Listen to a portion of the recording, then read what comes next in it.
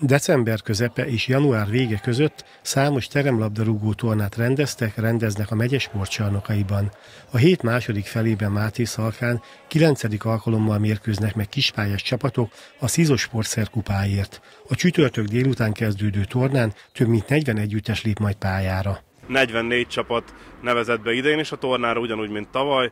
A első napon egy csoport lesz, a második napon három csoport, szombaton csak csoportmérkőzések, vasárnap lesz az utolsó csoportküzdelem, és ez nap kerül sor a egyenes kieséses szakaszra, este 8 óra körül derül, hogy kinyeri a tornát. Egy héttel később U19-es tornánk lesz ide 32 csapat nevezett, ez is hagyományos, ez már 15. alkalommal lesz, tehát nagyon nagy hagyományra tekint vissza. A helyi együttesek mellett több megyéből is érkeznek résztvevők, a két évvel ezelőtti győztes Szentiári pedig a határon túlról Szatmár-Németiből nevezett a tornára, amelyen futszállabdával játszanak majd a csapatok. Ragaszkodunk a 4 plusz 1-es játékrendszerhez, a futszállabdához, mert ez gyorsabbá és látványosabbá teszi a küzdelmeket. Idén is van határon túli csapatunk, idén annyi esetleg, ami a kuriózum, hogy Tatabányáról, Egerből és Debrecenből is több csapatunk jelentkezett.